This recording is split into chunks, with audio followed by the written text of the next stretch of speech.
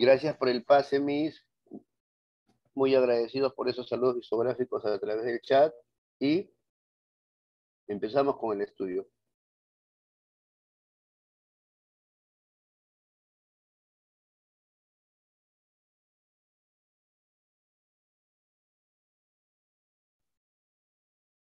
Ajá, ya buenas noches, en efecto, ya buenas noches, son más de las seis de la tarde.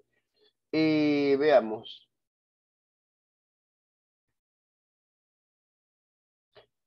¿Qué es la sílaba? Obsérvenme. Carpeta. ¿Cuántos esfuerzos musculares bucales he realizado? Respondan por el chat. Carpeta. ¿Cuántos esfuerzos musculares bucales he realizado? Ajá, muy bien. Felicito al respetable. Tres. Entonces, cada sílaba comprende un esfuerzo muscular bucal. Continuemos. Carpeta. En la primera sílaba tenemos tres sonidos. En la segunda sílaba tenemos dos sonidos. Y en la última sílaba tenemos tres sonidos. Carpetas. ¿Qué tenemos hasta ahora? ¿Qué es la sílaba? La sílaba es uno o varios sonidos pronunciados en un mismo esfuerzo muscular bucal.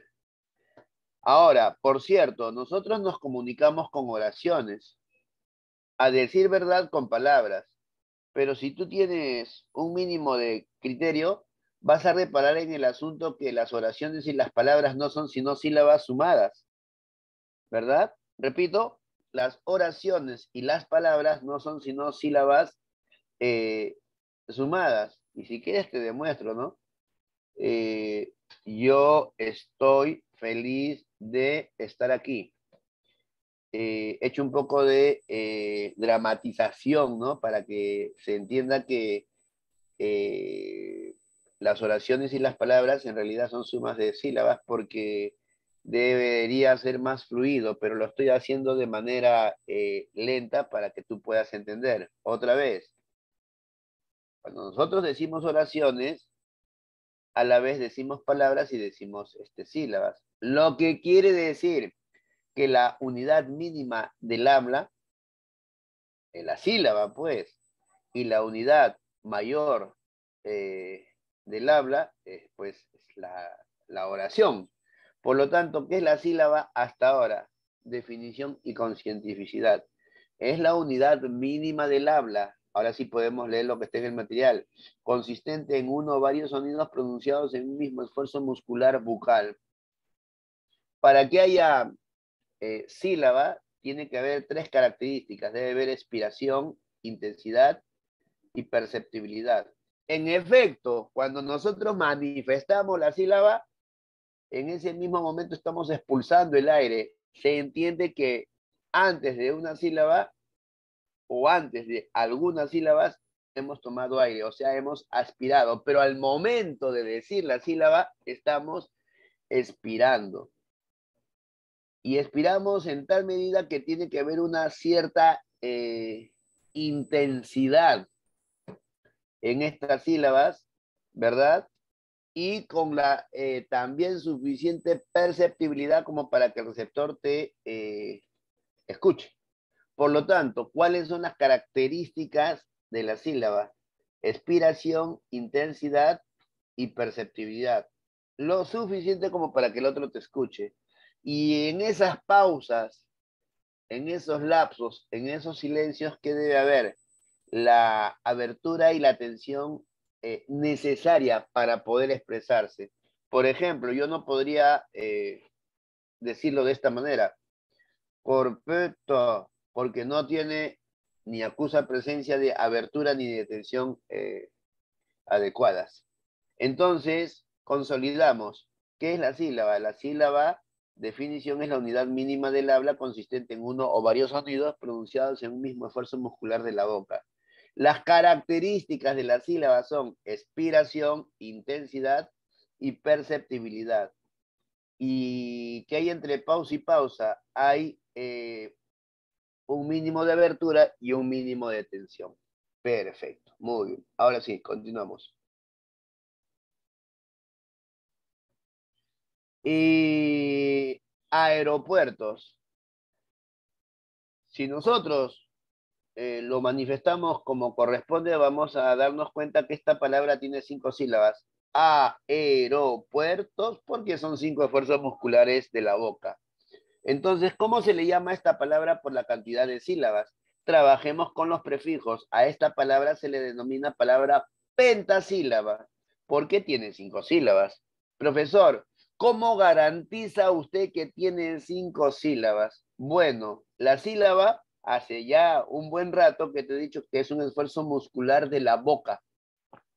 Así que nada tiene que ser esta tontería primariosa con las sílabas. Más bien el esfuerzo de la boca y les voy a contar algo eh, que por cierto no aparece en los libros, pero es cierto. Eh, los esfuerzos musculares de la boca eh, está constituido por tres, ¿ah? por tres de estos. Piquito, bajada y ternilla. Olvídate de la palabra aeropuertos y obsérvame. Piquito, bajada y ternilla. Ternilla es cuando, entre comillas, se te hincha este músculo que casualmente se llama ternilla. Y nos vamos a dar cuenta que no nos equivocamos. Miren, ve. Po, piquito. E, ternilla. Ta, bajada. Entonces, ¿cuántos esfuerzos musculares eh, bucales he realizado? Tres. Po, piquito, lo estás viendo. E, ternilla. Ta, bajada. Efectivamente, la mejor manera de identificar una sílaba en cuanto a su esfuerzo muscular bucal es con el famoso piquito, bajada y ternilla. Pero no con la manito, que eso no tiene absolutamente nada que ver, no es serio. Ahora vamos a ver si aeropuertos tienen cinco sílabas o no. Mírenme. A. Respondan. ¿Qué cosa es? Piquito, bajado, ternilla. Participen masivamente. Véanme y respóndanme. ¿Ah? Porque cada sílaba es un esfuerzo en la boca. A. ¿Qué cosa viene a ser? Bajada. E. E. ¿Qué cosa es E? Vamos, vamos todos. E. E. ¿Qué cosa es? Participen. Vamos, chicos. Si no, no puede continuar la clase si no participan. ¿ah? E. ¿Qué cosa es E? Lo he explicado bien. Vamos. Ternilla. Ro. Ro. Ro. ¿Qué cosa es ro? Piquito. Puer. Puer. Puer. Puer. Puer. Puer. Ternilla. Y en la última eh, sílaba. Tos. Tos. Tos. Tos. Tos piquito. Por lo tanto, en la palabra aeropuertos, a prueba de balas, hay cinco sílabas. Aeropuertos implica la presencia de cinco esfuerzos musculares bucales. A, bajada. E, ternilla. Ro, piquito. Puer, ternilla. Dos, piquito. Entonces, aquí hay cinco eh, sílabas. A esta se le llama pentasílaba. Voy a escribir una palabra en el chat y ustedes me dicen qué tipo de palabra es. Ahí está. Mi Hércoles o es miércoles. ¿Qué es? ¿Tetrasílaba o trisílaba? Miércoles o es mi Hércoles. ¿Qué viene a ser esa palabra? Miércoles. ¿Tetrasílaba o trisílaba? ¿Mi Hércoles o es miércoles? Vamos, respondan todos. Trisílaba, trisílaba. Y ahora vamos a confirmar con el método. Me dicen qué es lo que hay ahí, ¿ah? Mier, mier, mier, mier. ¿Qué hay ahí? Mier, mier, mier, mier. Ternilla. Co, co, co, co, co. Piquito les, les, les, les. Muy bien. Ternilla. Por lo tanto, la palabra miércoles es una palabra trisílaba. Trisílaba. Trabajemos siempre con los prefijos monosílaba, bisílaba, trisílaba, tetrasílaba, pentasílaba, etcétera, ¿cierto? Punto número uno, debidamente estudiado. ¿Cómo aseguramos la cantidad de sílabas? Con el esfuerzo muscular de la boca que viene a ser un piquito, una bajada, una ternilla. Ahora vean, sílaba por sus letras. A partir de ahora las letras, ustedes van a denominarlo literas. En la primera sílaba hay una letra, monolítera. En la segunda sílaba hay una letra, monolítera. En la tercera sílaba hay dos letras, bilítera. En puera hay cuatro letras, tetralítera. Y en tos hay tres letras, trilítera. Muy bien, veamos. A ver,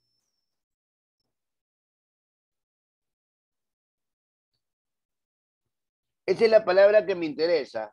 Y yo sé que en claustrofobia hay claustrofobia. Hay cuatro sílabas. A mí me interesa esta. ¿Cómo se llama esa sílaba por su cantidad de letras? La respuesta que me debes debe terminar en literas. Cuéntalas. Tienes que contar cada letrita. Pones el prefijo y la palabra litera al final. ¿Cómo se llama a esa sílaba? Klaus, examen de admisión. ¿Cómo se llama esa, a esa de allí? Muy bien, Yaneli. Y los demás, André, muy bien. Y los demás, Klaus. ¿Cómo se le llama esa sílaba por la cantidad de letras? Juan Diego, yo no sé de dónde me sacas monosílaba, no entiendo eso. Cuenta las letras, he dicho, y pone el prefijo y que termine en literas. ¿Cómo se llama esa sílaba? Vamos, chicos. Diez segundos. Participen todos. ¿Ah? Vamos. Es pentalítera, pentalítera. Klaus tiene cinco letras. C, L, A, U, S. Tiene cinco letras. Por lo tanto, es pentalítera. Pentalítera. No sé por qué alguien me ha puesto por ahí monosílabas. No, no, entiendo. Entonces, en claustrofobia hay claustrofobia, cuatro sílabas. Y en claus tenemos cinco letras. Esa es una pentalítera. Sigamos. Sigamos, chicos, con el debido análisis. Miren aquí. Si la sílaba suena más que todas, es tónica. Si la sílaba suena menos, es átona.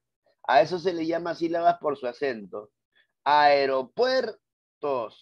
La sílaba tónica es puer y las demás sílabas, ¿qué cosas son? Son átonas. ¿Me dejo entender?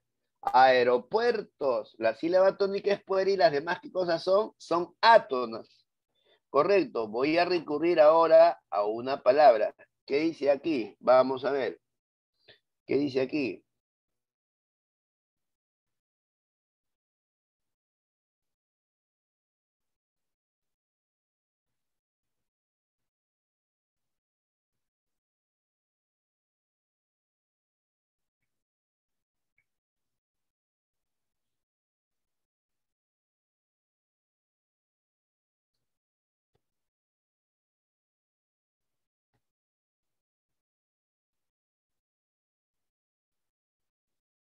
La palabra cautela, que yo sepa no es cautela, es cautela.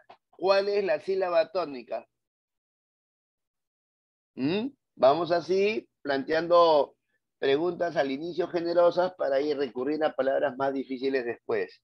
La sílaba tónica es T. ¿Y cuántas sílabas átonas tiene? Escriban. Si T es la sílaba tónica, ¿cuántas sílabas átonas tienen?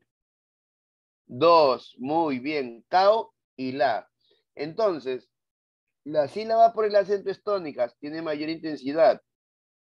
Y esa átona sí tiene menos intensidad. Correcto. Ahora, sílaba por su término. Si termina en vocal se llama libre y si termina en consonante se llama trabada. A es libre. E es libre. Ro es libre. Puer es trabada porque termina en consonante R y tos es trabada. Muy bien, voy a poner una palabra aquí en el chat. Vamos a ver.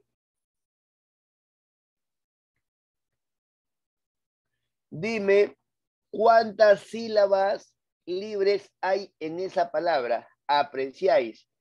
Palabra que ya es silabeado. ¿Cuántas sílabas libres hay? Vamos todos. Dos. ¿Cuáles son esas dos sílabas? A y pre, porque terminan en vocal. Y si terminan en consonante se llama trabada. La única sílaba trabada que hay allí es siáis. Siáis. Correcto, muy bien. A propósito, apreciáis. ¿Cómo se llama esta palabra por la cantidad de sílabas? Punto uno. Triqué. Apreciáis. Vamos a hacer un análisis ya completo. Apreciáis. ¿Cómo se le llama la palabra? Trisílaba. No sé de dónde me sacas trilítera. Estoy preguntando cómo se le llama la palabra por la cantidad de sílabas. ¿Cómo se le llama? Trisílaba. Correcto. Ahora quiero que me respondan todos. En la palabra apreciáis. Si hay, ¿qué tipo de sílaba por letras es? Cuenten las letras de la última sílaba y díganme cómo se le llama a esa sílaba por su cantidad de letras. Cuenten.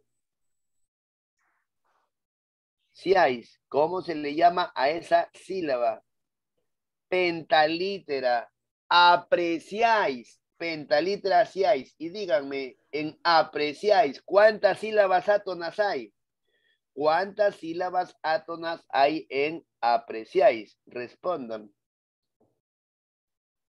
Dos, muy bien, dos sílabas tónicas en apreciáis.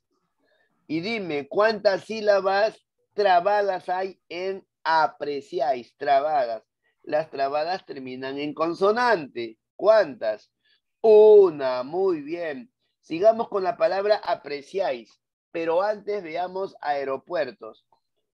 La sílaba incompleja es la que no tiene consonante. La primera sílaba aquí es incompleja, no tiene consonante. La segunda también es incompleja, no tiene consonante. Pero las últimas tres sílabas son complejas porque tienen consonante. En la palabra apreciáis, ¿Cuál es la única sílaba incompleja?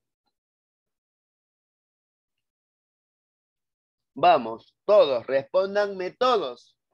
En la palabra apreciáis, ¿cuál es la única sílaba eh, incompleja? Muy bien, la A, la A, la A, la A, la A. Entonces, ¿qué tenemos hasta ahora? Palabra por sus sílabas, sílaba por sus letras, sílabas por su acento tónica o átona, sílaba por su término, libre o trabada, sílaba por su estructura incompleja y compleja. Y ya terminamos, ya casi terminamos el análisis silábico. Las fronteras silábicas, no se me asusten con esto. La frontera es un linde, una frontera, un límite entre un elemento y otro. En aeropuertos, entre la A y la E, ¿qué hay? Vocal se separa de vocal. Entre la E y RO, vocal se separa de consonante. Entre ro y puer, la vocal se separa de consonante. Y en puer, entre puer y tos, la consonante se separa de consonante. Esta palabra es tan espectacular que tiene las tres fronteras silábicas. Vocal se separa de vocal como en caos. Vocal se separa de consonante como en Perú. Y la consonante se separa de consonante como en la palabra árbol. Por lo tanto, en la palabra aeropuertos están las tres fronteras silábicas. Más bien, les comentaré que esta frontera silábica que estoy poniendo por el chat no existe en el castellano.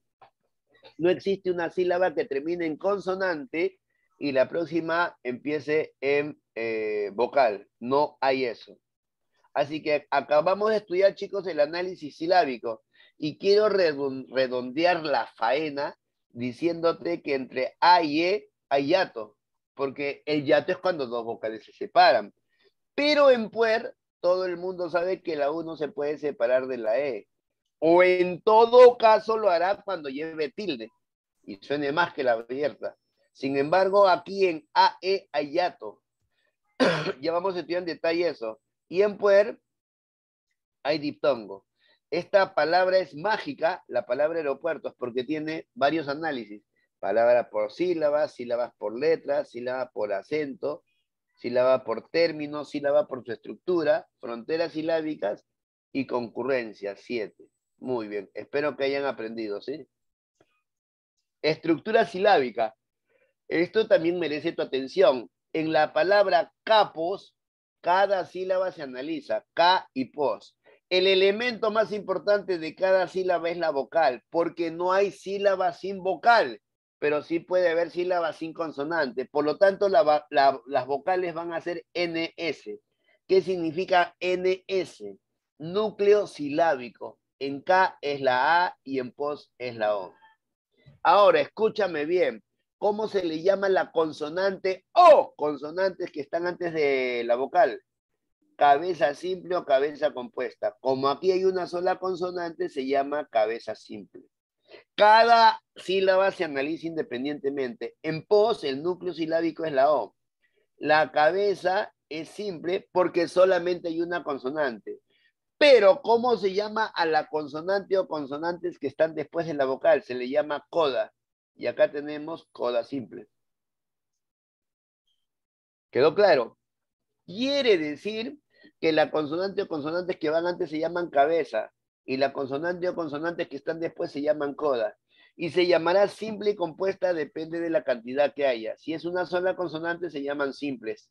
Y si hay más de una consonante, se llaman codas. Sean cabeza o eh, eh, compuesta, perdón, sea cabeza o coda, se va a llamar, repito, perdón, simple si es una sola consonante, sea cabeza o coda. Y compuesta, también sea simple o este, mm, eh, o compuesta. Una consonante se llama simple y dos consonantes es compuesta. Lo que se verifica en la palabra inscritos, mira, observen acá.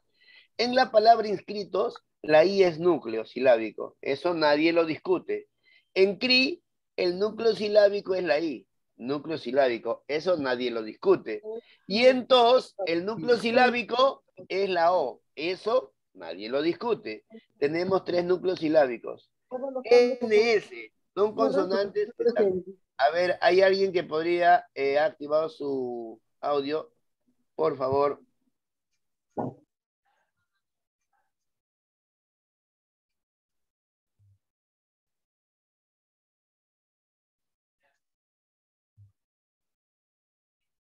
Bien, continuemos. En inscritos, la I, la otra I y la O son núcleos silábicos. NS está después como consonante, es coda, pero se le llama coda compuesta porque está constituida por dos letras, por, dos consonantes. En CRI es al revés. Antes del núcleo silábico hay eh, consonante, pero no es una, son dos. Cabeza compuesta. Y en TOS, correcto, el núcleo silábico es la O. La T es cabeza simple y la S es coda que coda eh, simple. ¿Estamos de acuerdo? Muy bien. Voy a eh, consignar eh, una palabra. A ver.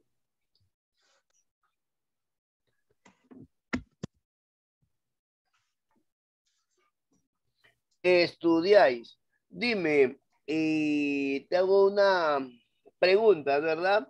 Yo quisiera que ustedes en la palabra estudiáis me digan en total, en toda la palabra, ¿cuántas codas hay? Respondan, ¿cuántas codas o consonantes que están después de los núcleos hay? Escriban. ¿Cuántas codas o consonantes que están eh, después del núcleo hay? Estudiáis. ¿Qué fue, muchachos? Ninguna respuesta. Vamos, procesen la información. Estudiáis. ¿Cuántas hay?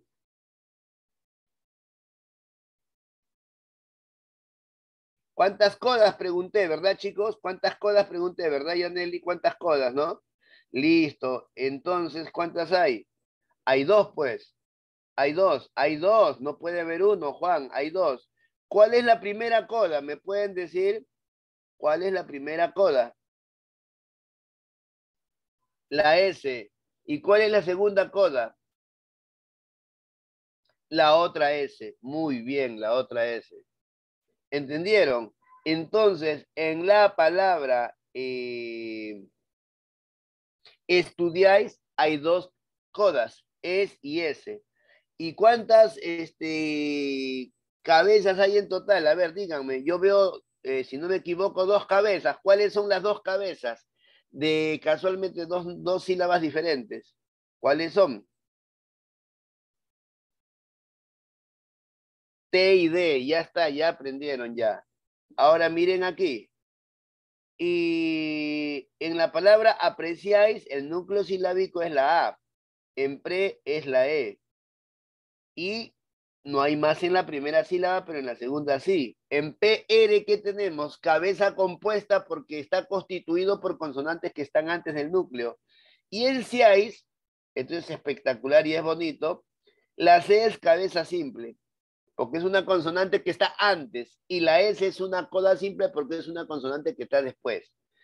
En los triptongos y en los yatos, el núcleo silábico siempre va a ser la vocal abierta. La A es núcleo silábico.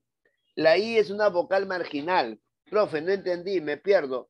No, no te preocupes. En los diptongos y en los hiatos, el núcleo silábico siempre va a ser la vocal abierta. En este caso es la A. Y la I queda como una vocal marginal. Marginal porque está al margen, pues no ha llegado a ser núcleo. Se le llama vocal marginal prenuclear. Y la otra I se va a llamar vocal marginal postnuclear porque está después del núcleo. Muy bien.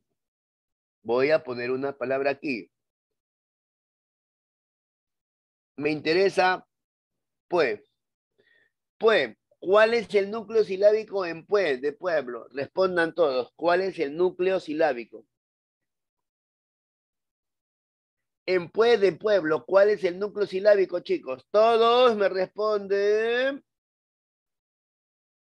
en Pue de Pueblo, ¿cuál es el núcleo silábico? Muchachos, no se me queden. El núcleo silábico y me ponen la U. Francamente no entiendo. Acabo de decir hace 20 segundos que en el mundo del diptongo y del triptongo la vocal abierta es el núcleo y les estoy preguntando cuál es el núcleo en Pue y me ponen la U. Cuando el núcleo silábico, ¿cuál es? Es la E. Espero que las dos alumnas reconozcan su error, ¿verdad? Porque ¿cómo va a ser la U? No puede ser la U, pues, porque hay diptongo. En el diptongo y en el triptongo, los elementos más importantes son las vocales que abiertas. ¿Sabes cuál es el problema eh, de decir que el núcleo es la U? Si nosotros decimos que el núcleo es la U, le estaríamos poniendo la tilde y pueblo ya no tendría dos sílabas. ¿Cuántas sílabas tendría pueblo? Si la U fuera este núcleo. Pueblo, ¿cuántas tendría la palabra? ¿Cuántas sílabas tendría? Y la palabra tendría pues tres sílabas, pues. Y no es así, pues no, pueblo. Entonces, ¿cómo vamos a decir que la U es núcleo? ¿Correcto? ¿La U qué cosa es? La U qué cosa es? La, si la E es núcleo, respóndanme todos qué cosa viene a ser la U, tal como lo que te estoy enseñando. ¿Qué viene a ser la U? Respondan.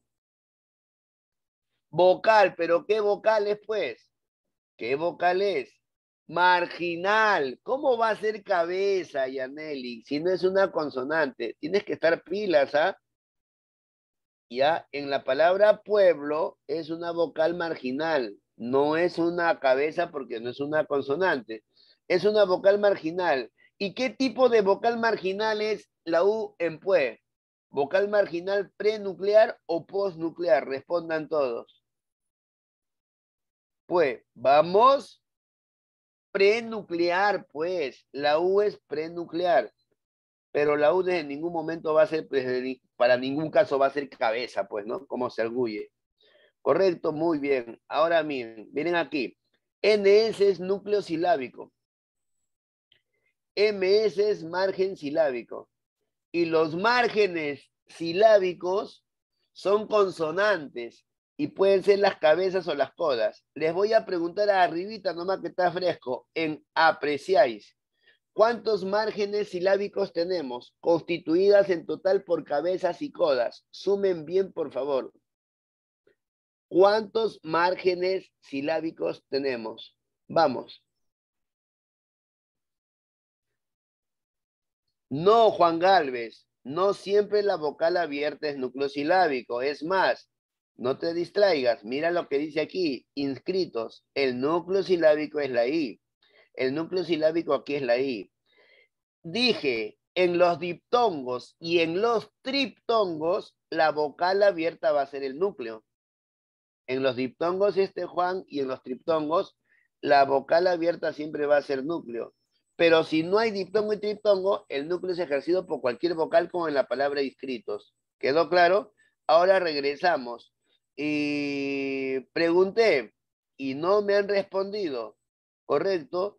¿Cuántos márgenes silábicos constituidas por cabezas y codas hay en la palabra apreciáis? Estoy esperando la respuesta. Los márgenes silábicos, ¿cuántos son? Muy bien, André. ¿Y los demás? Muy bien, Rosemary. ¿Y los demás? ¿Cómo continúo la clase si los demás no participan multitudinariamente? ¿Cuántos márgenes silábicos que están constituidos por cabezas y codas que, son consonantes hay en esta palabra? Tres, Yaneli, tres, tres, tres. A ver, veamos. PR, cabeza compuesta, C, cabeza simple y S, coda simple. No hay cuatro, hay tres. Pero vamos a la primera palabra, capos. ¿Cuántos este, márgenes silábicos hay en la palabra capos? Díganme. ¿Cuántos hay en capos? ¿Vamos todos? Tres, claro que hay tres. Así que ya aprendieron. El núcleo silábico es la vocal. La consonante o consonantes que están antes son cabeza simple o compuesta. Y la consonante o consonantes que están después son codas simples o compuestas. Cuando hay diptongo y triptongo, el núcleo sigue siendo la vocal abierta y la vocal que está antes se llamará vocal marginal prenuclear y la vocal que va a estar después se llamará vocal marginal postnuclear. Ahí está, mira, NS, núcleo silábico, MS, márgenes silábicos, constituidos por las consonantes, ya sean cabezas o codas, precisando que hay cabezas simples y compuestas y codas simples y compuestas. Vocal marginal, son las otras vocales que se presentan en los diptongos y en los triptongos. A la prenuclear, por favor, memorícense eso, a la prenuclear se le va a llamar semiconsonante. Y a la postnuclear se le va a llamar semivocal. Correcto, regresamos al material de arriba. La I es prenuclear, semiconsonante. Y la segunda es vocal marginal postnuclear semivocal. Correcto, la vocal marginal prenuclear siempre va a ser semiconsonante y la otra vocal marginal eh, postnuclear va a ser semivocal. Correcto, muy bien. Ahora, miren aquí. La cima vocálica, para no perder eso, dice que está constituido por el mundo de las vocales y puede ser simple una sola, una sola vocal o compuesta, dos o tres vocales. Regresamos, miren aquí. Cima vocálica simple es una vocal. Pos, cima vocálica qué? Simple, una sola vocal. Y así sucede en la segunda palabra. En la tercera palabra está el detalle, pero comparemos. Eh, la A es cima vocálica simple, una sola vocal. En la E, cima vocálica simple, una sola vocal. Pero en CIAIS, es decir, en los triptongos y en los diptongos, siempre va a haber cima vocálica compuesta. Oh. Ahora sí, y vamos a pasar a mm, taxi. No tiene cabeza compuesta, perdón, no tiene cabeza simple, es cabeza compuesta porque es KS. En la palabra hierba, HI es Y, cabeza simple. En la palabra guerra, la U no es vocal marginal, porque la U no suena, no es guerra, sino es guerra, cabeza simple. Y en la palabra ley, tenemos vocal marginal postnuclear, ¿ah? semivocal. ¿Por qué? Porque esa E escritura eh, latina, ¿verdad? ley. Ahora vamos a pasar al si la veo. Vamos a ver, al eh, si la veo.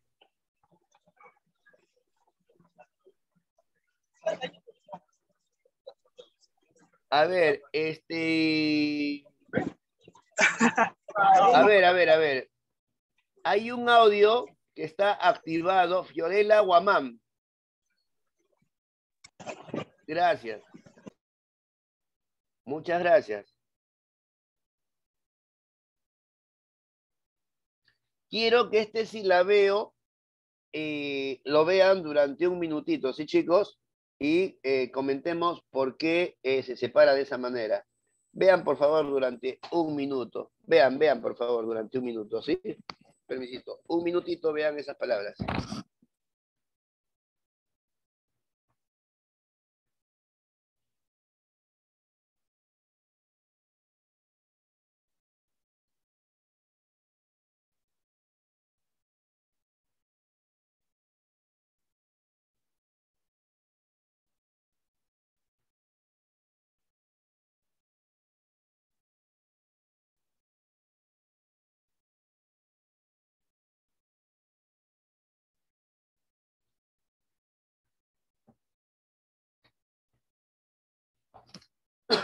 Bien, chicos.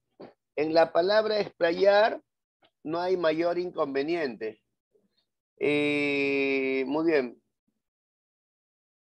Ah, ya. André me está diciendo que vuelvo a explicar. Fácil. En la palabra taxi, la X suena KS, cabeza compuesta. ¿Cierto? KS.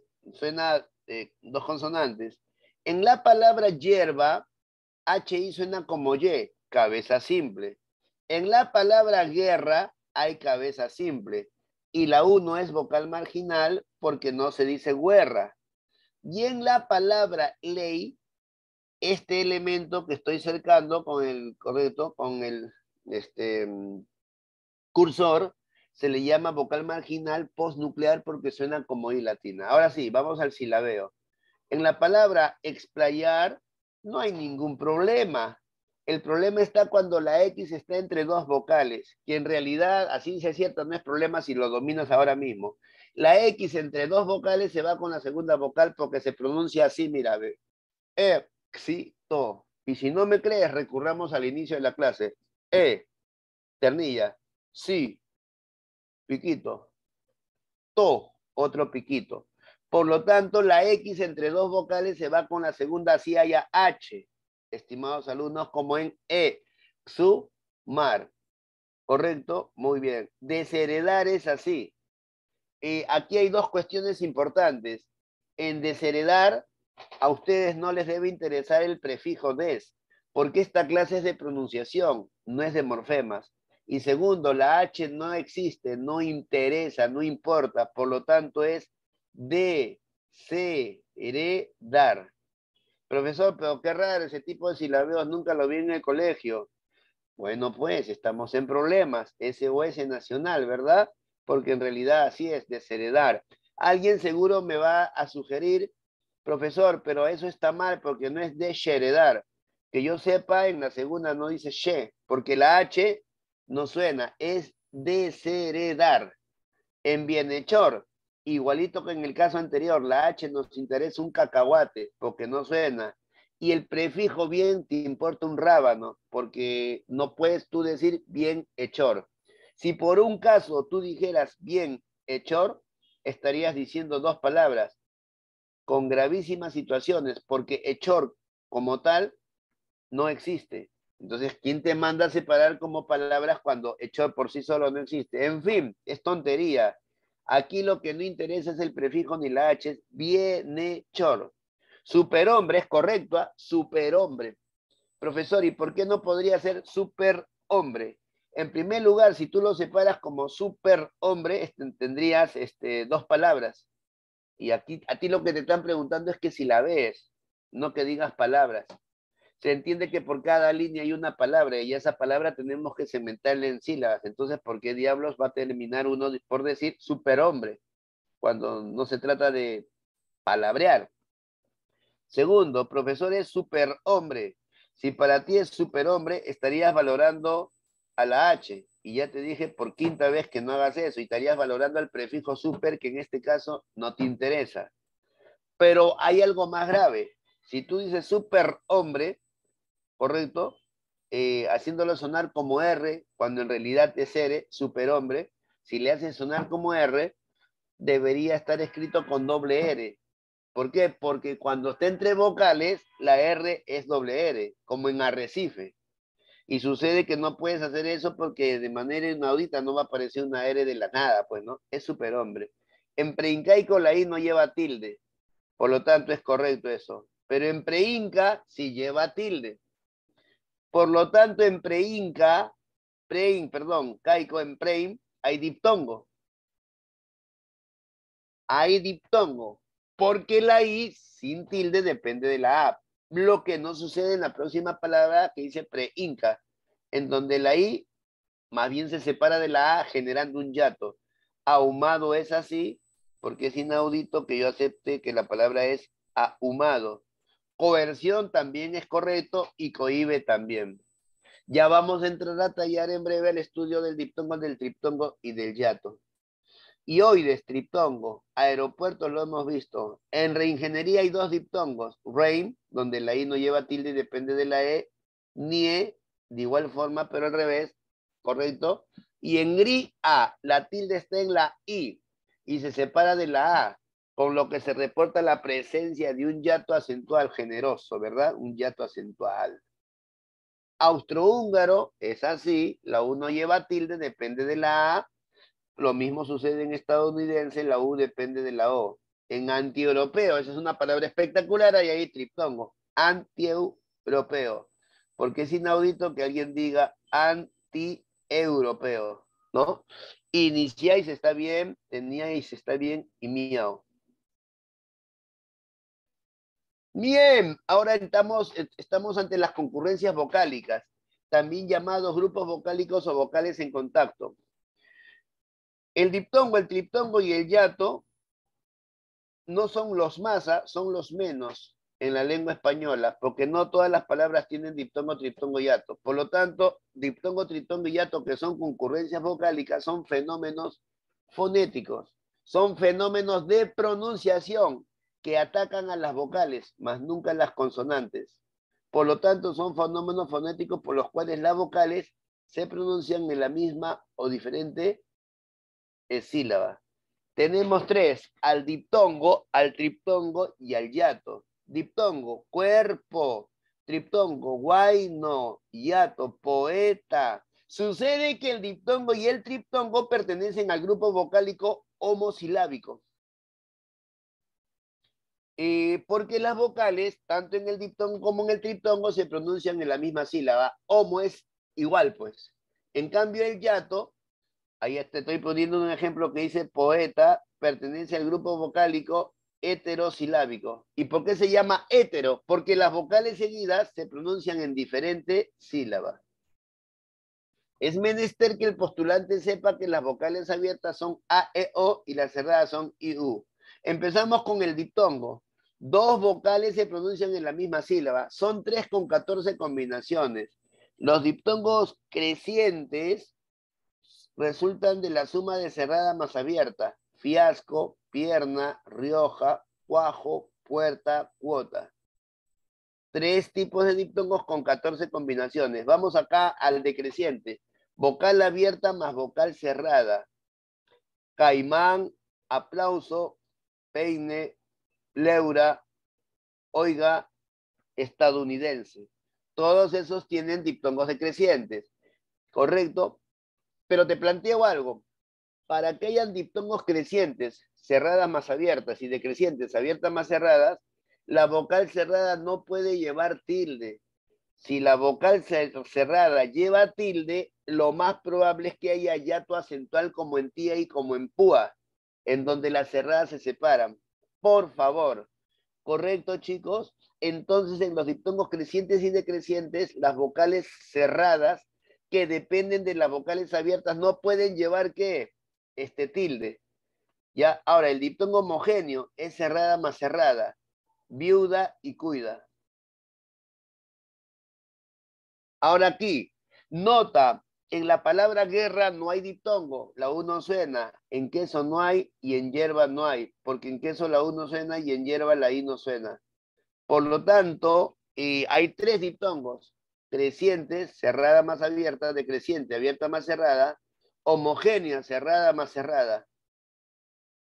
Y por supuesto, güero tiene diptongo, cuáquer tiene diptongo y llena el animalito tiene diptongo. La H no puede impedir el diptongo como en ahumado. ¿Quedó claro? Muy bien, voy a poner un ejercicio, ¿sí? ¿Qué dice aquí? Claustrofobia. ¿Qué diptongo hay en claus? Según lo que te he enseñado. Creciente, decreciente o es homogéneo. Claus. decreciente. Gracias, alumnos. Es eh, abierta más cerrada. Muy bien. Me preguntan por qué en hierba no hay diptongo. Porque la I no suena, pues porque se dice hierba, Juan. Y es más, tú en el diccionario buscas con H y sale hierba, pero luego tú buscas en la Y y sale hierba. Entonces ahí no hay. Bueno, entonces, ¿qué tenemos en cuestionario? En claustrofobia, perdón.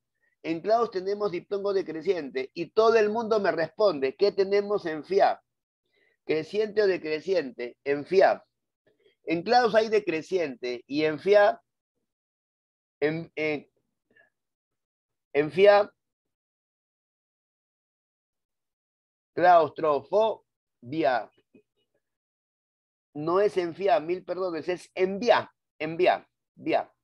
En claus es diptongo decreciente y en vía creciente, creciente, muy bien. Cerrada, eh, fia, cerrada más abierta. Y acá está el yato. El yato es cuando dos vocales se pronuncian en la misma sílaba. Yato simple. Las vocales abiertas se separan. Caer, Paolo, creador, Leonidas, koala y roedor.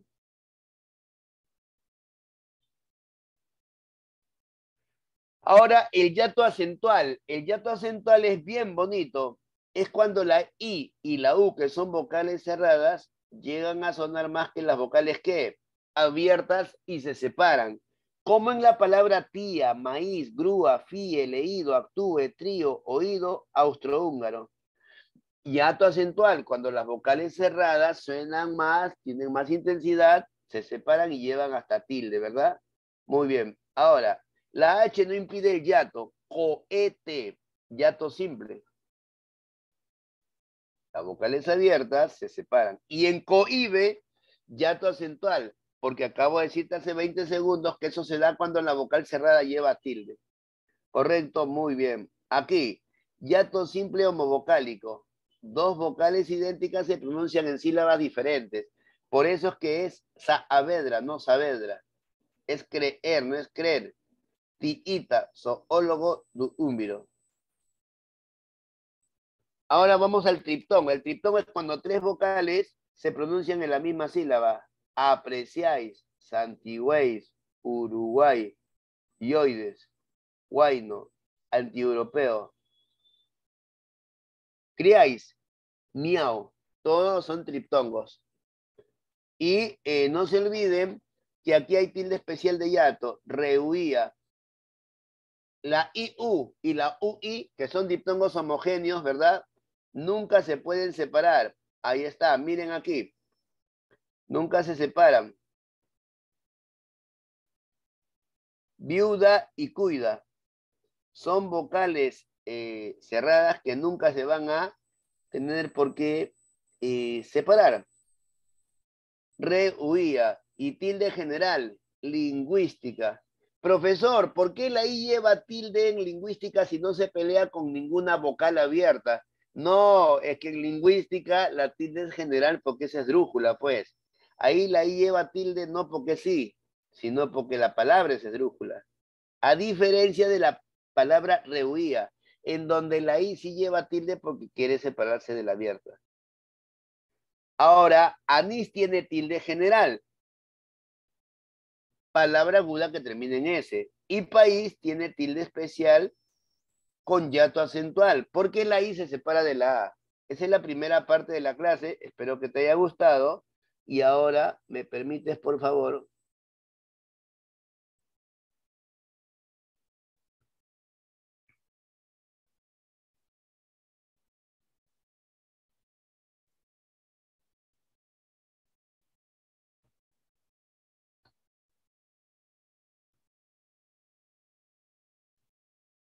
Muy bien. ¿Qué es el acento? Carpeta. ¿Cuántas sílabas tengo? ¿Cuántos esfuerzos musculares de la boca he hecho, chicos? Carpetas.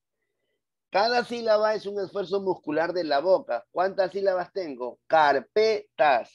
Tres. Muy bien. Ahora, ¿cuál es la sílaba o el esfuerzo muscular bucal que suena más? Carpetas. ¿Cuál es? P. Entonces, ¿qué es el acento? Miren la pantalla. Consiste en pronunciar una sílaba con mayor intensidad tónica en contraste con las otras. Por lo tanto, en carpeta, la sílaba tónica es P. ¿Y cuántas sílabas átonas tiene? Respondan, carpeta. ¿Cuántas sílabas átonas? Muy bien. Y ahora me interesa la cantidad de sonidos. Carpetas en P, que es la sílaba tónica, ¿cuántos sonidos hay? Vamos, digan, ¿cuántos sonidos hay en P? Dos. ¿Qué es el acento? Mira, ve. Consiste en pronunciar una sílaba con mayor intensidad tónica en contraste con las otras que son átonas. Y el acento es un fonema suprasegmental o prosodema. Quiero que me entiendas. Dentro de la sílaba que hay, consonantes y vocales. Te cuento que las consonantes y vocales no nacen en tu mano ni en tu boca, sino en tu cerebro. Por lo tanto, en una sílaba hay consonantes y vocales. Y todo el mundo sabe en esta clase que las consonantes y vocales son conocidos como fonemas segmentales.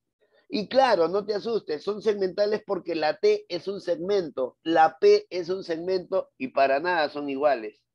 Entonces, ¿por qué se dice que el acento es un fonema suprasegmental o prosodema? Porque el acento se manifiesta en una sílaba, sea tónica o sea átona. Y dentro de esas sílabas, ¿qué cosa hay? Consonantes o vocales segmentales, diferenciales unas de otras. Por lo tanto, es correcto decir que el acento es un fonema suprasegmental. En consecuencia, ¿qué es el acento? Eh, consiste en pronunciar una sílaba con mayor intensidad tónica, eh, a diferencia de las otras que son átonas. Es un fonema suprasegmental o prosodema debido a que al manifestarse en una sílaba, esta sílaba se expresa en simultánea con las consonantes y vocales que están dentro de ellas.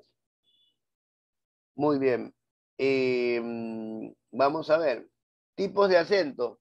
Acento prosódico y acento ortográfico. Los dos tienen sílabas tónicas, pero el prosódico carece de tilde y el ortográfico tiene tilde. Negaron tiene sílaba tónica. Tiene sílaba tónica. Reloj tiene sílaba tónica, pero no tienen tilde. Acento prosódico más bien. Esternón, ápice, célibe, entrégaselas y frío. Tienen acento ortográfico, tienen tilde y presentan sílaba eh, tónica. Muy bien, vamos a hacer, voy a escribir esta palabra. Vamos a ver.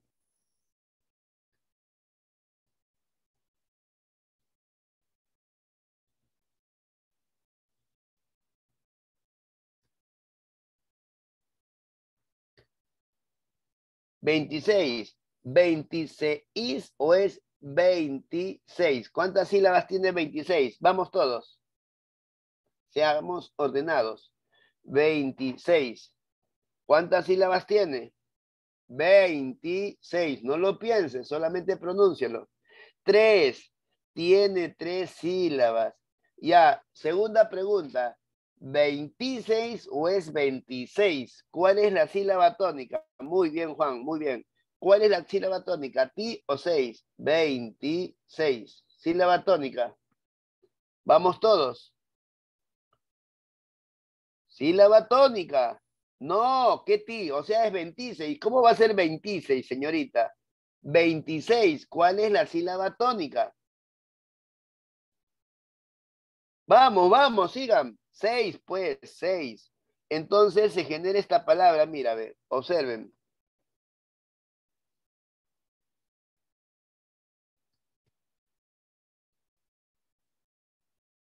Veintiséis. Te hago una pregunta esa palabra, ¿qué acento lleva? ¿Prosódico o lleva acento ortográfico? Respondan todos.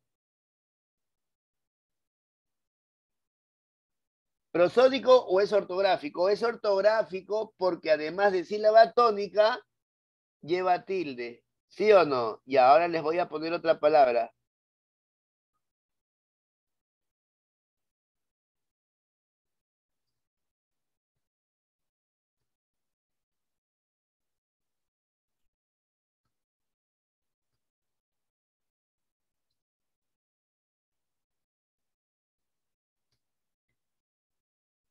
18 o 18, cuatro o tres sílabas. Vamos, lo primero es la primero. 18 o es 18.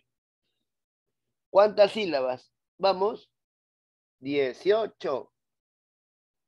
Tres, muy bien. El que dice cuatro está frito porque nadie va a decir, mamá, he cumplido 18 años. Son tonterías. Tres.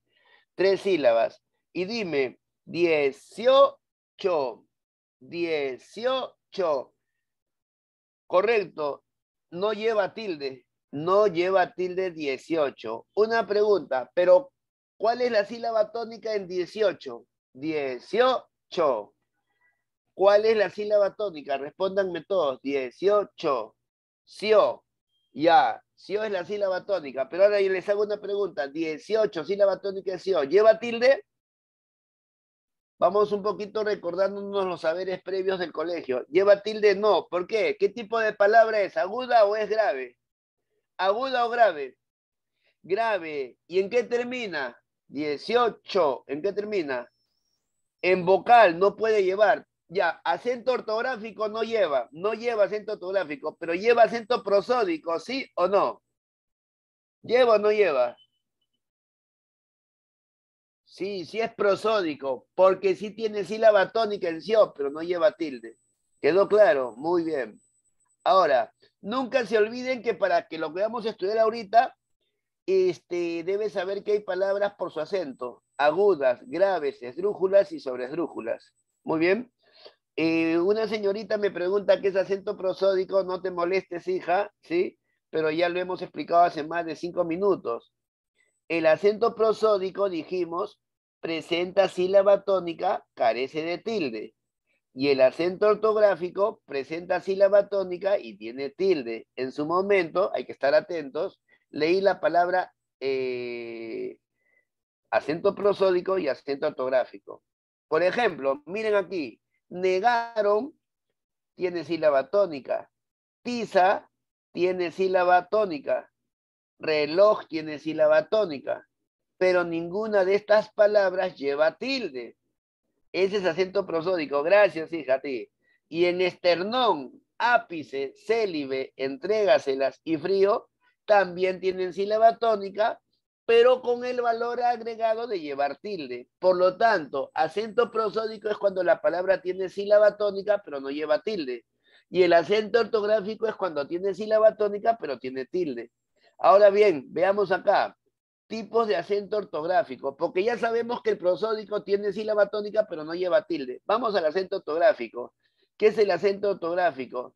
Es la rayita oblicua que se coloca sobre la vocal de la sílaba tónica por dos normas. O sea, el hecho que tú le pongas la tilde y utilices acento ortográfico, a diferencia del prosódico que no necesita, es que se supedita dos normas, norma general y norma especial.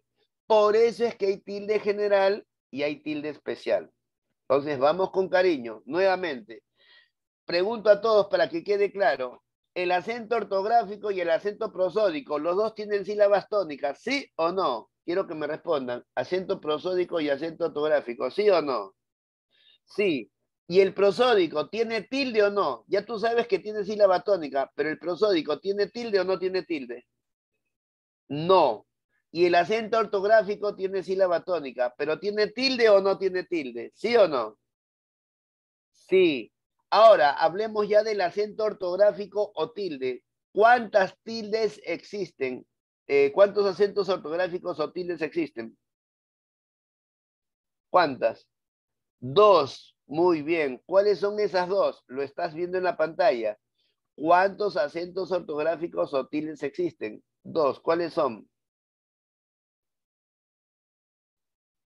En general y especial. Vamos a la general ya la general. Primero separa en sílabas, ¿correcto? Primero separas en sílabas. Así que les voy a plantear yo una palabra. Vamos a ver.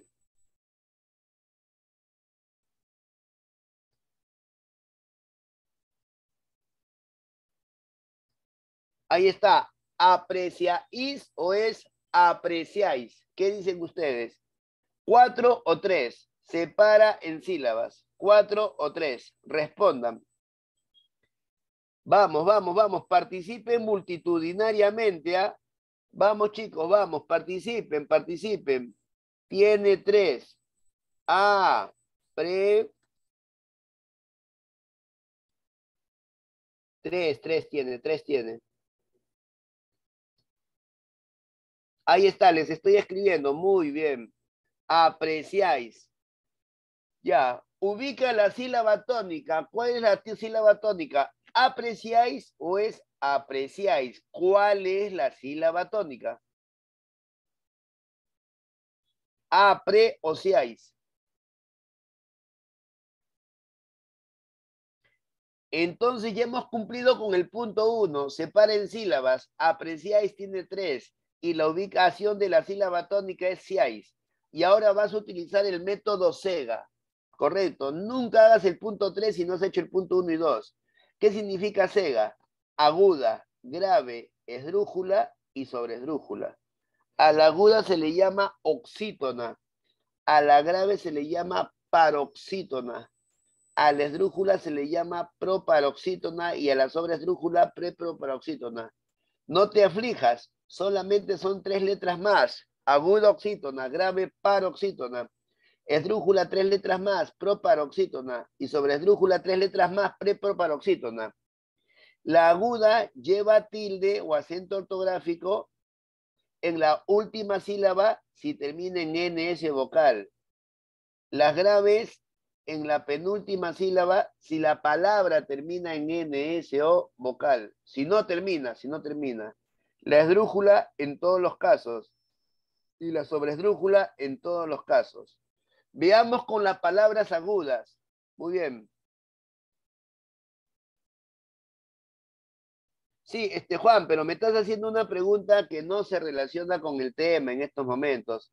Y estamos un poquito con el factor tiempo en contra, ¿ya? Luego, luego respondo, ¿sí? Correcto, muy bien. Dice, agudas, esternón, compás y peroné son agudas. La primera termina en N, lleva tilde. La segunda termina en S, lleva tilde. La tercera termina en vocal, lleva tilde.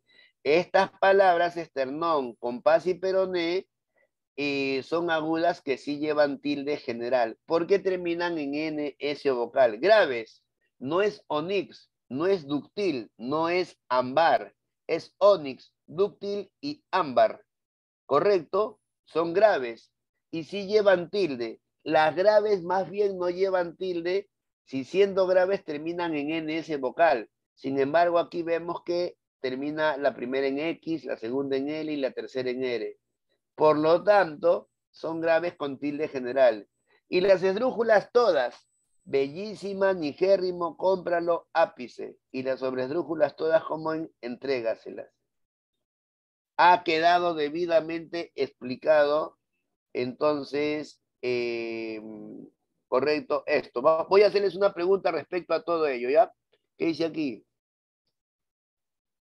¿Cuántas sílabas tiene? ¿Cuatro o tres? Cienfuegos. ¿Cuatro o tres? Tres. ¿Cuál es la sílaba tónica? Tres. ¿Cuál es la sílaba tónica? Todos me responden, sílaba tónica fue. ¿Qué tipo de palabra es? ¿Aguda, grave o esdrújula? Cienfuegos. Aguda, grave o esdrújula. Grave. Ahora, por favor, supeditados acá al método SEGA, es grave. ¿Lleva tilde o no lleva tilde? Cienfuegos.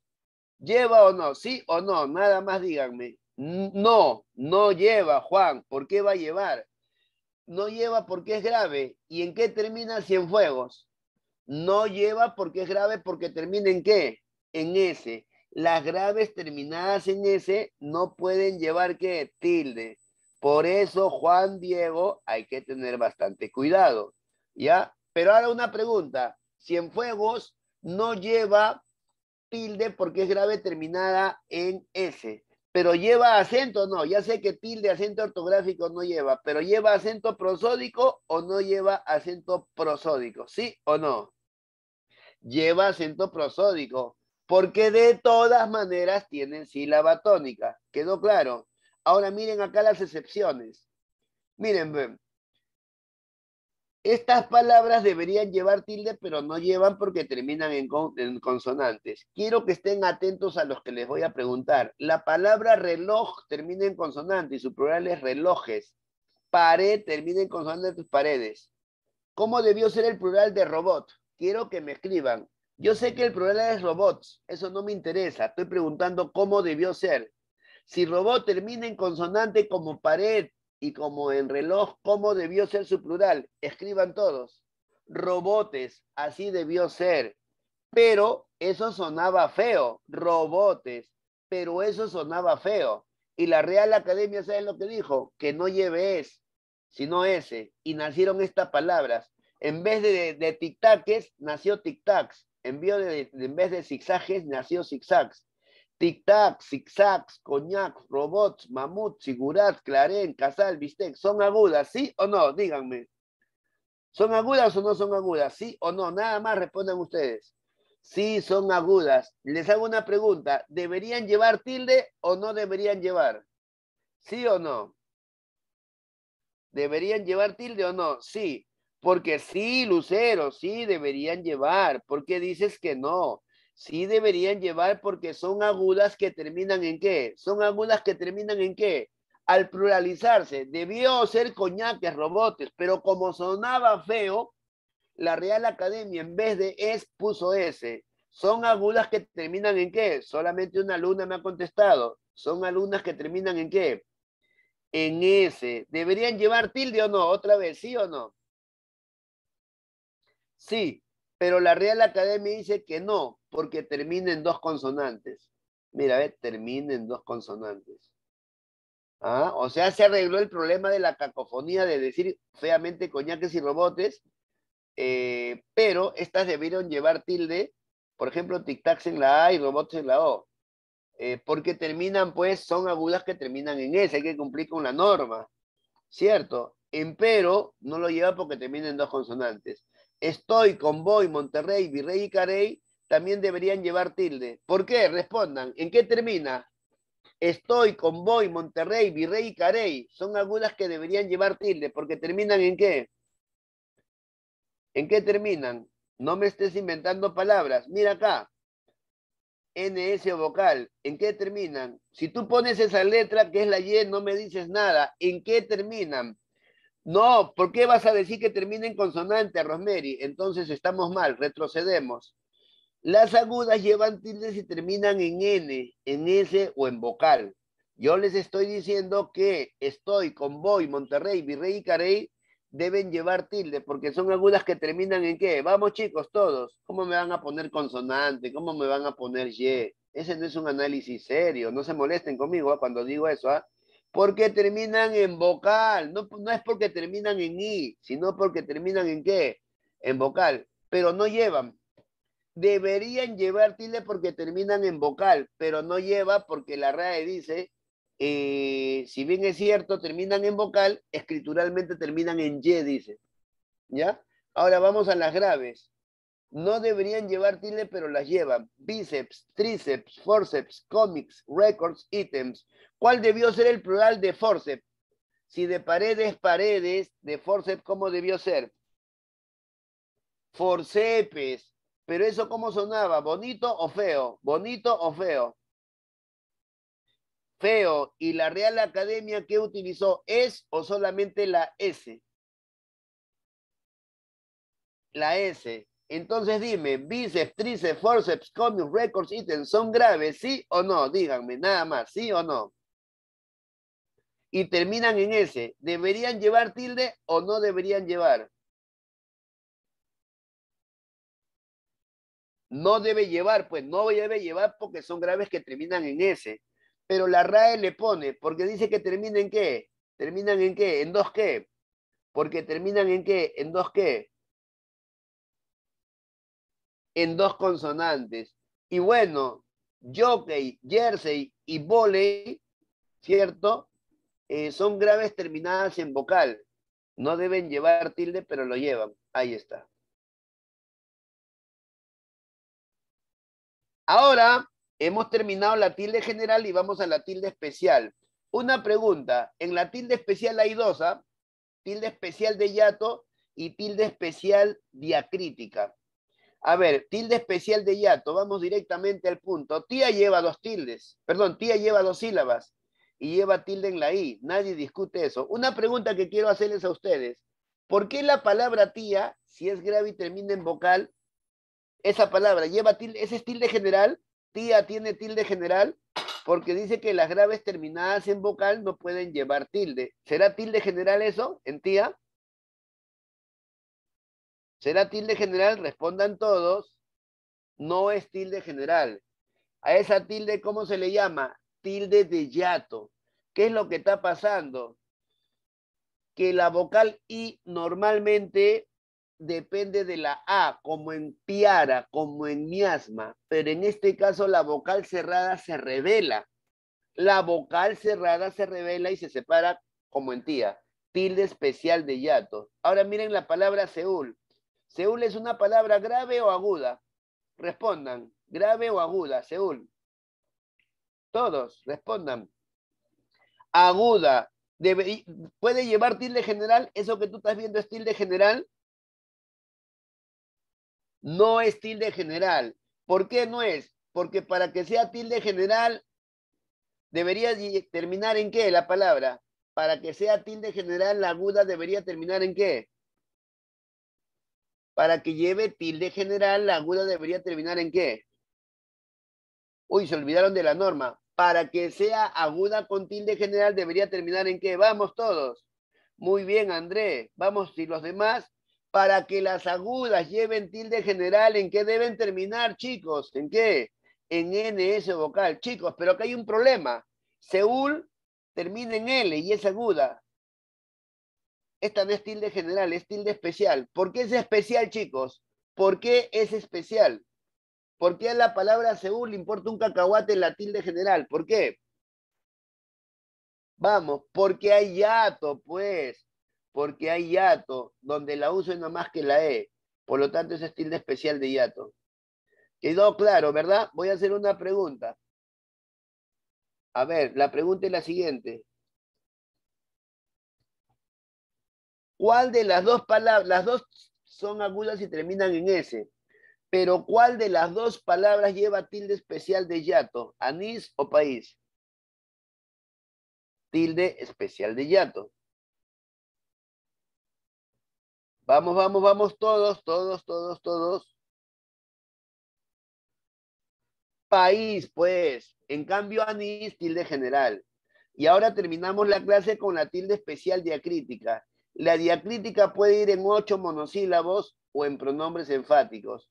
Veamos primero la tilde diacrítica monosilábica y luego la diacrítica enfática. La tilde diacrítica monosilábica solamente se coloca en ocho monosílabos. Miren, por favor, grábense esto. Si él te mide, tú sé más. Esas son los ocho monosílabos que llevan tilde especial diacrítica monosilábica sí va a llevar tilde cuando equivale a claro, adverbio, a él o a ella. Él si equivale a ella. Te va a llevar tilde si equivale a café. Mi si equivale a ti. De a entregue. Tú a él o a ella. Se va a llevar tilde si equivale a conozco, este, eh, existe. Y más si equivale a mucho. Por ejemplo, les voy a dar tres ejemplos nomás. Te serviré el té. El té que lleva tilde es la segunda, porque este serviré el café. Que la chica de rojo te dé un beso. El D que lleva tilde es la segunda. Significa que la chica de rojo te entregue un beso. Y en más, pidió más, más no le dio. El más que lleva tilde equivale a mucho. Pidió mucho, pero no le dio. Me suelen preguntar con la palabra sí, y sí solamente lleva tienes equivale a claro, él o ella. Leo la oración. Si me amara, sí le daría paz para que piense en ella misma, en sí misma. Entonces va con tilde la segunda y la tercera. El primer sí es, el segundo sí es claro, con tilde. Si me amara, claro, le daría paz para que piense en sí misma, para que piense en ella misma. El primer sí es el que no lleva tilde. ¿Por qué? Porque equivale a condición. Y termina esta parte de la clase con C. C lleva tilde cuando equivale a conozco o a existe. Si no, no. Sé fiel, porque se molestó y no sé calmarla. Sé fiel, existe fielmente, significa. porque se molestó y yo no sé calmarla. Yo no conozco la manera de calmarla. Así que les voy a poner un ejercicio y ustedes me dicen si lleva este tilde o no. Señor, de dinero de su bolsillo. ¿Cuál es el de que debe llevar tilde que equivale a entregue? ¿El primero o el segundo? Señor, de dinero de su bolsillo. Vamos todos. El primero porque significa entregue, ¿sí o no? Eh, ¿Quieren un ejercicio más o ahí nomás ya para pasar a las preguntas? ¿Qué dicen? Ya, vamos a ver con la, con la palabra este, aquí. Ya. A ver aquí.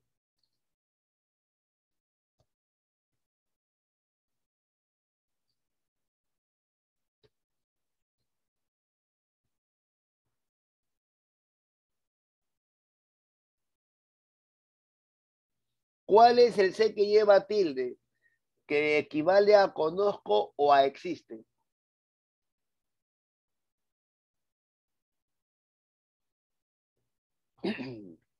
¿Cuál es? El segundo, se molestó y conozco el motivo. ¿Sí o no? Ahora con sí, si quieres, ¿ah? El sí lleva tilde si es claro, si es ella o él, pero nunca como condición.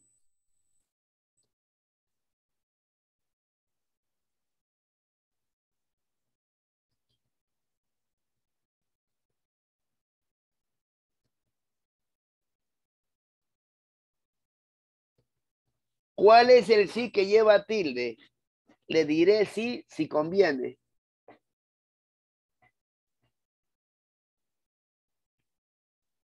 El primero. Le diré claro. Ahora miren aquí. La tilde diacrítica enfática. Solamente va en los pronombres interrogativos y exclamativos. Rosmery y compañeros, ¿en qué palabras van? ¿En cuál, cuáles, quién, quiénes, cómo, cuándo, cuánto, dónde, qué? La casa donde vivo es esa, ahí no hay tilde, porque ahí ni pregunta ni exclama. Se le llama pronombre relativo, porque está después del sustantivo, y es de la misma relación de arriba, pero sin tilde. Abajo sí lleva tilde, mira, porque está preguntando, dime dónde está. Pronombre interrogativo, lleva tilde en la O. Pero miren lo que dice después, yo bailo donde deseo. Ahí ni pregunta ni exclama solamente informa, pero me doy cuenta que ese dónde está después del verbo. Es adverbio relativo. Donde sea. Ese es pronombre exclamativo, si lleva tilde. Así que ya hemos estudiado la tilde diacrítica, perdón, la tilde primero de yato, bien estudiado. Hemos estudiado la tilde diacrítica monosilábica en si el mide tú se más y la tilde que diacrítica enfática en pronombres interrogativos y exclamativos. Solo no lleva tilde para nada. Solo vi un gato solo significa solamente vi un gato solitario. No lleva. La O entre números ya no lleva, porque finalmente la O y el cero tienen distinto número, distinto tamaño. La palabra aún lleva tilde cuando equivale a todavía pero hay tres aún que no llevan tilde. Ella me ama, aún me idolatra es y, no lleva tilde.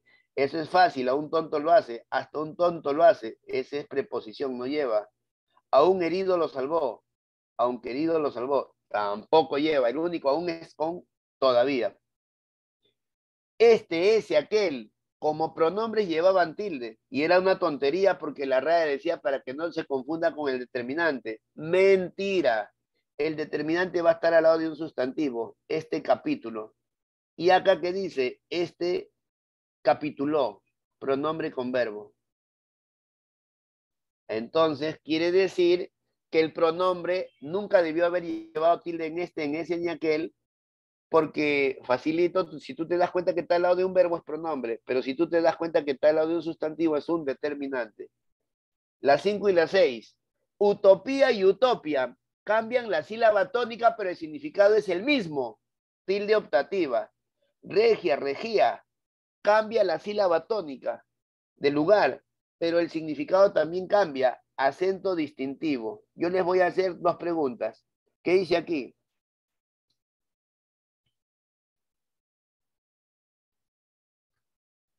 ¿Qué es eso? ¿Tilde optativa o tilde distintiva? Vamos. ¿Cambio o no cambia el significado? Respondan, rapidito, ya no me queda mucho tiempo, chicos. Optativa, muy bien, la gran mayoría optativa.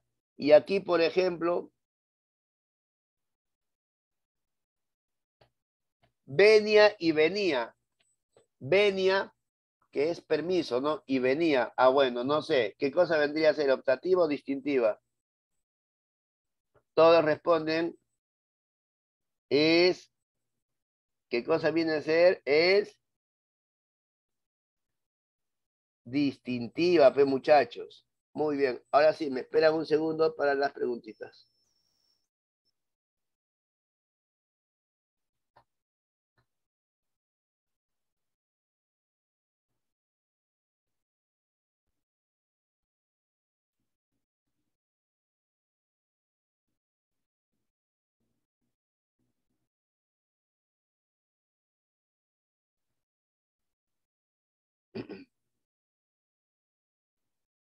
Bien, muchachos.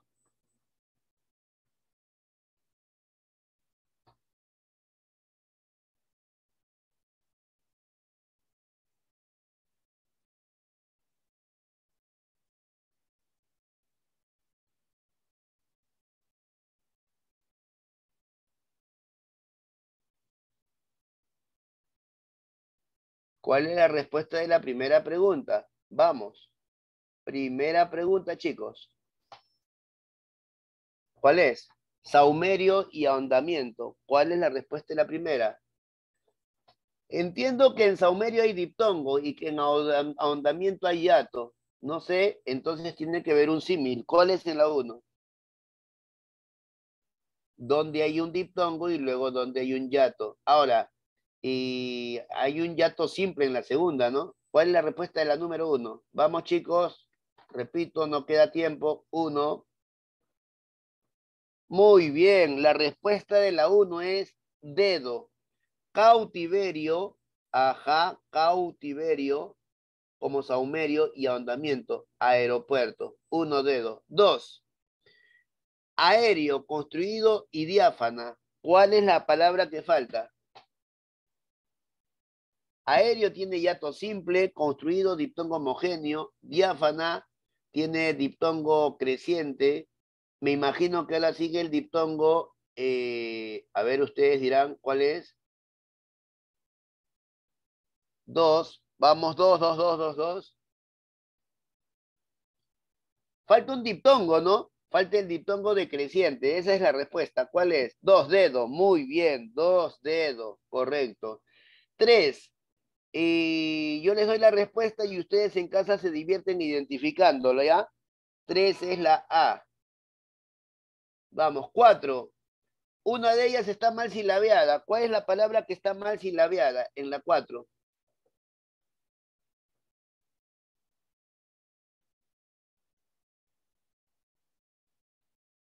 Cuatro. Cuatro, la A no, ¿cómo va a ser la A? La A está bien silabeado. Alcohol, ya todo simple. las vocales idénticas se separan. La 4 no puede ser la A. ¿Cuál es la 4? En la 4.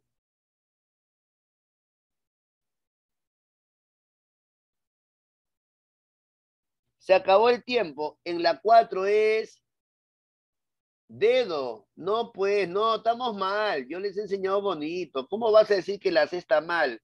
Si la I y la U tienen que estar en la misma sílaba. ¿Por qué? A ver, a quien me ha contestado ahorita que la 4 es la C, ¿cuál sería el error en la 4? Si ahí hay diptongo homogéneo que tienen que estar juntos. Chicos, no respondamos por responder. Ahijado, está bien, ahí hay diptongo decreciente. ¿La respuesta cuál es? La, e, la B, Zanahoria. Está bien, la respuesta es la E, muchachos. Ay, Dios mío. En alcohol está bien, zanahoria está bien. Es ahínco, 5E. Muy bien. Eh, perdón, 4, 4 este E, 4E. Ahora sí, 5. ¿Cuál es la respuesta en la 5? 4E. Pongan el numerito, pues. 4E, 5, donde hay solamente diptongo creciente. Vamos chicos, creciente. Cerrada más abierta. La C, muy bien. Diáfano, diálogo, ecuánime. Seis, ¿en dónde hay diptongo? ¿En qué alternativa hay diptongo? Cinco, seis. Seis, ¿dónde hay diptongo? En la seis. En las dos palabras hay diptongo.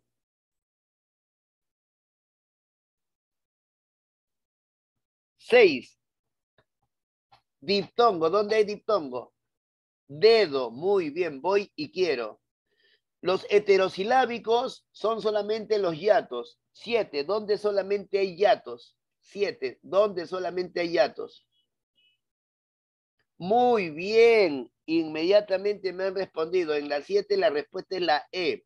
Yatos, pues, aéreo, geografía, geometría. Ocho, ¿dónde solamente hay diptongos? Diptongos, nada más. ¿En dónde hay diptongos? Está bien fácil. La ocho, vamos chicos. 5C, 6 dedos, 7E, 8, beso. Muy bien, 8 es eh, beso. 9. ¿En dónde solamente hay triptongos? En la 10. 9, 8, perdón, beso. En la 9, ¿dónde solamente hay triptongos? Vamos chicos todos en la 9, ¿dónde solamente hay triptongos? No se me queden, no se me queden. ¿Qué pasó, muchachos? Los triptongos son vocal cerrada más vocal abierta más vocal cerrada. La 9 es la B. Muy bien. 10. ¿Dónde solamente hay hiatos? En la 10. ¿Dónde solamente hay hiatos?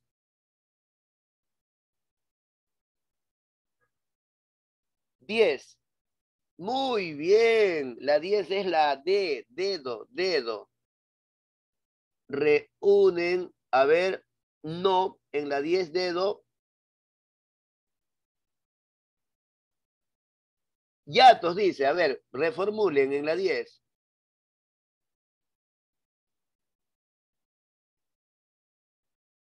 Dedo, pues, dedo, dedo, ¿por qué dudan? Reúnen, la U lleva tilde, tilde de yato. Poetas, poetas y aedas y yatos simples. La 10 es dedo. 11. En la 11 yo les doy la respuesta, ¿sí? En la 11 es la A. 11A. En la 12 es la C. Perfecto. En la 13 tenemos por respuesta a la B. Y en la 14, para que se diviertan en casita, es la A. Muy bien. Ahora sí, ¿cuál es la respuesta de la 15? Ya tienes 11, 12, 13, 14.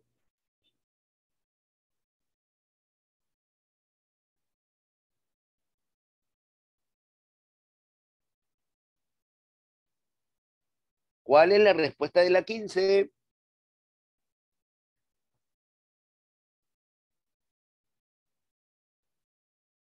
¿Cuáles son las palabras que tienen diptongo decreciente? La C. Muy bien, muy bien. Les digo algo, ya les he compartido cuatro respuestas, la 16 la hacen ustedes en casa, ¿sí chicos? 16. Vamos a la 17. Ya tienen una tarea, 17. ¿Cuál es la respuesta de la 17? Valientes. Vamos, 17. Tengo confianza en ustedes. Me quedan solamente dos minutos. 17. ¿Cuál es la respuesta de la 17? La 16 la hacen ustedes, Juan. La 16 la hacen ustedes. 17. ¿Cuál es la respuesta de la 17? 5, 4, 3, 2, 1 y 0. 17.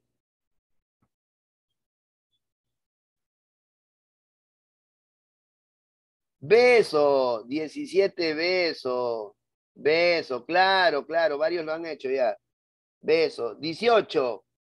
Blandear y heroísmos. ¿Qué hay en ese par de oraciones? Uy, está fácil la 18, qué vergüenza, muy fácil. Blandear la EA se separa y en heroísmos la I también se separa de la O porque, es este, porque tiene eh, vocal cerrada con mayor intensidad. ¿Cuál es la respuesta 18? Dedo. Muy bien. 19. ¿Cuál es la respuesta de la 19, muchachos? 19. ¿Cuál es la respuesta de la 19? ¿Dónde solamente hay hiatos? Beso, muy bien, beso. 20. 19 es beso, muy bien. En la 20 es la D, en la 21 es la B. 22. ¿Cuál es la respuesta de la 22, chicos? Dice incorrecto, hay que saber leer, ¿ah? incorrecto. ¿Cuál es la respuesta de la 22?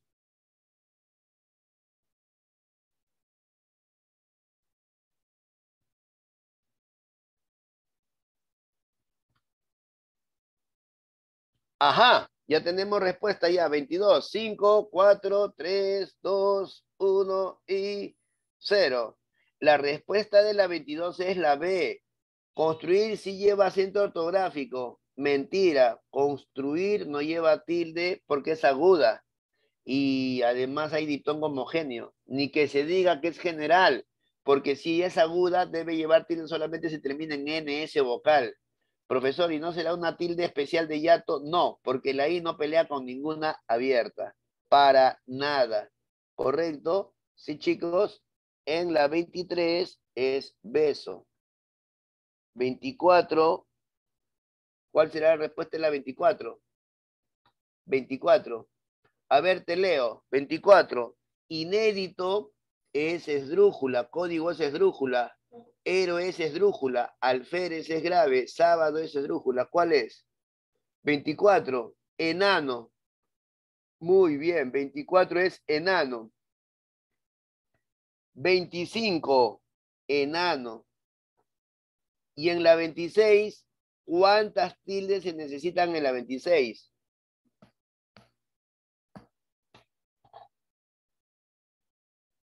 Esperó que avanzara la noche y cuando ya no hubo luces y todo cayó en sombra y silencio, avanzó hacia la casa y entró en ella. La respuesta cuánta es? 26. Enano, ¿verdad?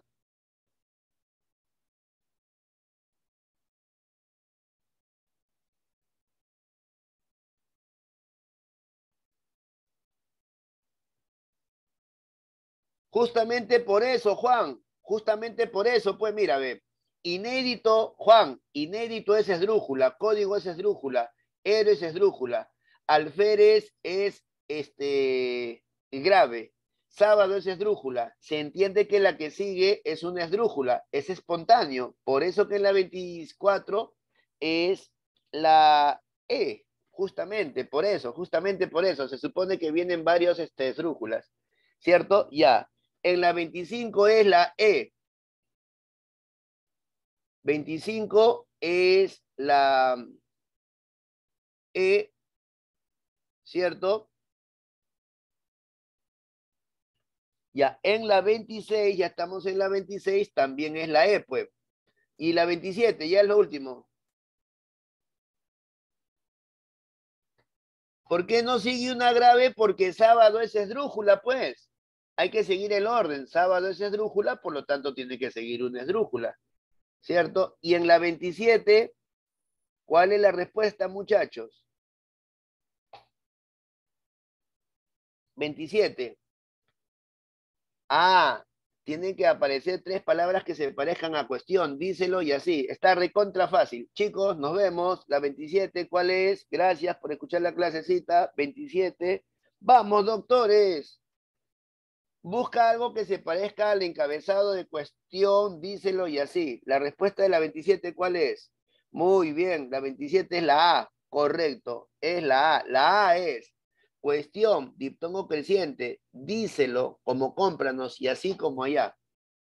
Listo, ha sido un gustazo, 27 es la A. Nos vemos muchachos, cuídense, disculpen que me haya excedido 8 minutos, era necesario. Un abrazo, cuídense, chao, chao, nos vemos.